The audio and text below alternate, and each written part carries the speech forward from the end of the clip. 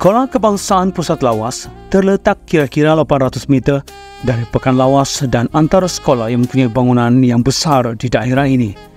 Meski Pusat Lawas juga diiktiraf sebagai sekolah tertua di daerah ini iaitu wujud sejak tahun 1937 dengan nama asalnya iaitu Sekolah Kebangsaan Panduan Rakyat Datuk Pangeran Haji Matusin bin Al-Mahrum Abu Bakar bersempena dengan ketokohan dan jasa figura ini semasa zaman pemerintahan Raja Brooke.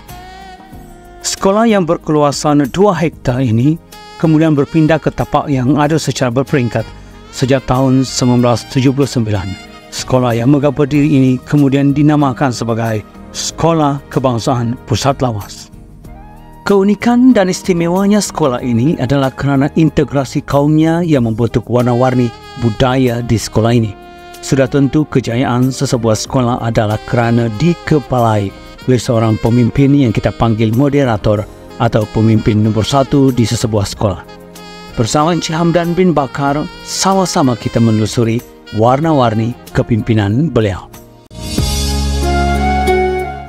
Menurut Jibila sendiri, Ha. okay, apakah itu maksud kepimpinan? Okey, terima kasih Cikgu Mimi. Kepimpinan ialah satu skill lah, iaitu ringkasnya mempengaruhi orang di bawah. Itu maksudnya kepimpinan. Bila dapat mempengaruhi, maka dia dapat memberikan arahan uh, dan seterusnya dalam kata yang paling senang memimpin. Uh, sebab kalau dia tak dapat mempengaruhi orang bawahan artinya dia tidak boleh memimpin. Itulah maksud kepimpinan. Alhamdulillah uh, kita telah melepasi KPI sekolah dalam bidang kurikulum. Pertamanya ini adalah uh, komitmen guru-guru dalam memberi peluang, ruang dan kesempatan kepada murid untuk melibatkan diri dalam kegiatan yang disertai seperti yang dinyatakan dalam peringkat antarabangsa, uh, kebangsaan dan negeri. Uh, ditambah lagi dengan kesungguhan murid. Sebab kita tetapkan bahawa bukan setakat menyertai kita perlu menang di semua peringkat. Jadi Alhamdulillah uh, kita telah melepasi KPI yang kita tetapkan uh, dan saya ulang balik uh, kuncinya ialah kata kuncinya ialah komitmen guru-guru yang tahu peluang sebab uh, yang kita buat ini adalah secara bersemuka dan juga secara online. Ah itulah. Kasih.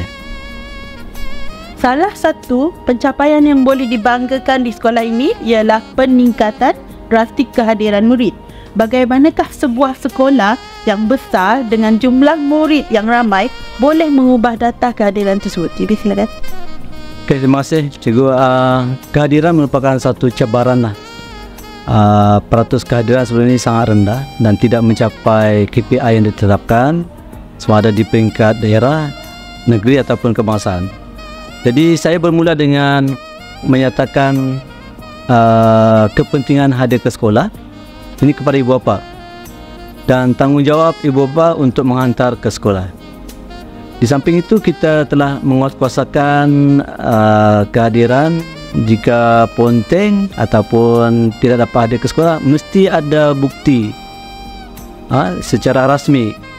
Ha, contohnya cuti sakit mesti ada pengesahan doktor hasil dia sakit jika ada urusan keluarga mesti memohon seminggu lebih awal ha, sebab saya li- lihat antara alasan murid tidak ke sekolah sebelum ini ialah sentiasa ada urusan keluarga. Jadi perlu memohon dan menunggu kelulusan pihak sekolah. Barulah mereka boleh bercuti. Uh, cuma yang tidak dapat dielakkan uh, masalah sakit itulah dia memang berlaku. Tetapi sekarang uh, agak berkurangan lah dan seterusnya pengangkutan kita dapati uh, murid yang tidak ada sebelum ini masalah pengangkutan jadi kita ada asrama Jadi asrama adalah satu cara untuk mengatasi masalah kehadiran. Jadi alhamdulillah penghuni asrama sudah penuh, ah ramai yang tinggal asrama dan ini secara langsung menyelesaikan masalah kehadiran sekolah. Sebab itulah uh, kehadiran sangat baik di sekolah ini. Saya sangat berbangga. Beberapa tahun yang lalu, uh, sekolah ini cuba membudayakan amalan 3S yang namun ianya kurang memberangsangkan. Walau bagaimanapun, di bawah kepimpinan uh, Encik Amdan sendiri, okay, ianya diamalkan dengan jayanya beberapa tahun ini. Apa strategi yang guru besar lakukan hingga amalan ini dapat dipupuk di kalangan murid dan guru? Uh, terima kasih. 3S bermaksud salam, sapa, senyum. Ha? Sesuatu yang mudah dibuat. Ha? Dan kita bermula dengan uh, petadbir. Saya sendiri semua penolong kanan mengamalkan dan menjadi contoh. Lepas itu saya ber, menguatkan kepada semua guru staf sekolah. Dan bila murid-murid melihat budaya ini maka kita terus menyuruh murid semua untuk mengamalkan 3S itu jadi bila kita buat secara berperingkat dengan bukti yang telah kita uh, nampak jadi Alhamdulillah uh, 3S ini menjadi amalan semua warga sekolah malah uh, juga diamalkan oleh ibu bapa yang datang ke sekolah ketika mengambil anak senyum, sapa dan salam. Saya sangat suka dan selalu mengalu-alukan ha, kedatangan agensi luar ataupun jabatan luar membuat program di sekolah ini. Sebab saya pandang ini satu peluang kepada pihak sekolah dan khasnya murid. Ha? Uh, Impaknya terbesar ialah dia membantu sekolah sebab ada di antara organisasi ataupun jabatan yang datang ke sekolah dia tidak datang dengan tangan kosong dia datang membawa bantuan uh, peruntukan dan ilmu contohnya mengadakan kursus kepimpinan uh, kursus uh, kesihatan anti dada yang sebenarnya memang berlangsung di sekolah dan ditambah lagi dengan uh, penglibatan agensi luar jadi sangat memberi impak lah kepada sekolah dan khasnya kepada murid.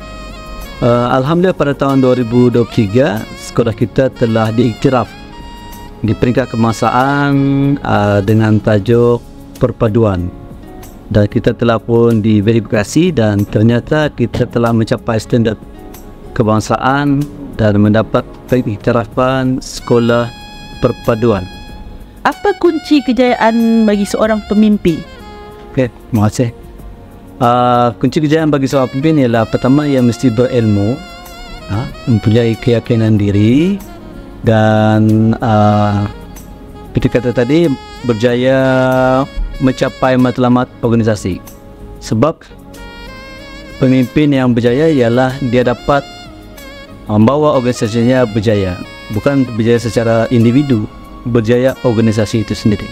Jadi saya tambah kalau merujuk kepada sekolah, sekolah yang berjaya itu melambangkan pengetua atau guru besar yang berjaya lah memimpin. Jadi SK Pusat Lawas kita guna betul kerai kita ialah Center of Excellence.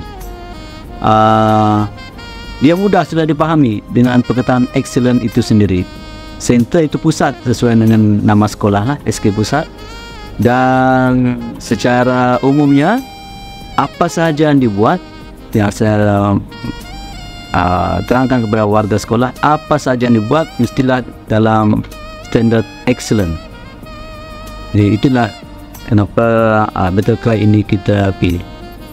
Uh, sekolah kita uh, mempunyai banyak program sebenarnya dan program-program itu uh, kalau secara ringkasnya dibagikan kepada tiga bahagian iaitu kurikulum uh, haluan murid dan uh, co-kurikulum jadi saya ingin uh, share sedikit tentang program-program yang berjaya dalam bidang kurikulum kita telah membuat satu program iaitu bubut BU BUT budaya buku di tangan. Ini merujuk kepada amalan membaca.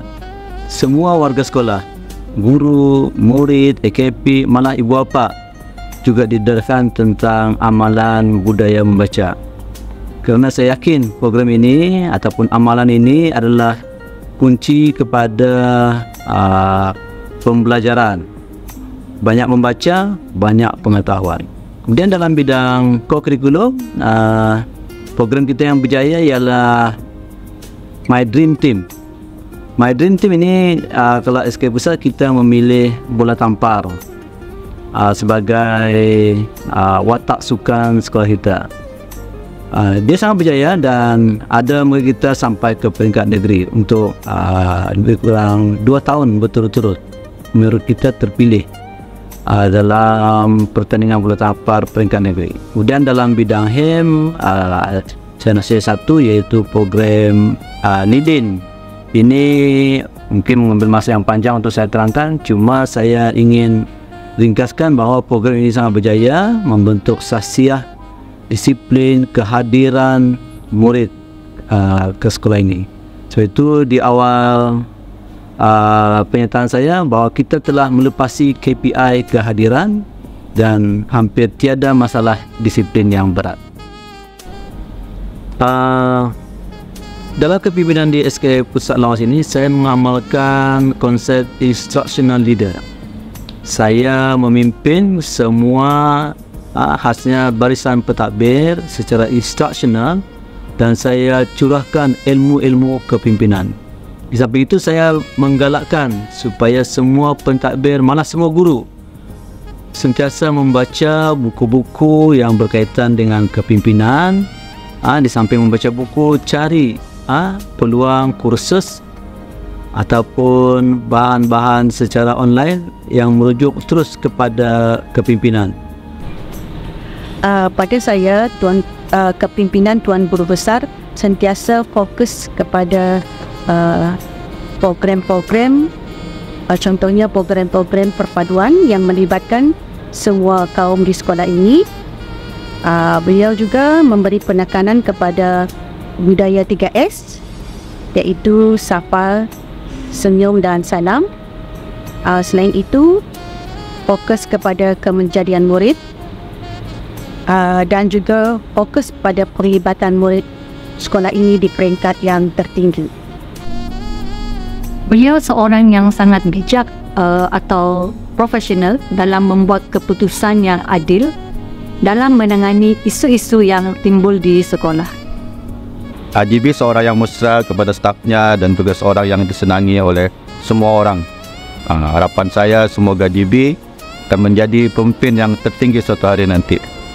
Guru besar selalu menggalakkan kami aktif dalam bidang akademik dan kokurikulum.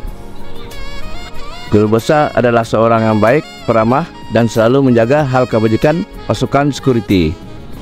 Uh, Jimmy merupakan seorang yang mudah didekati mesra dengan uh, para stafnya dan juga um, boleh menerima pandangan apa-apa pandangan daripada uh, orang bawahannya.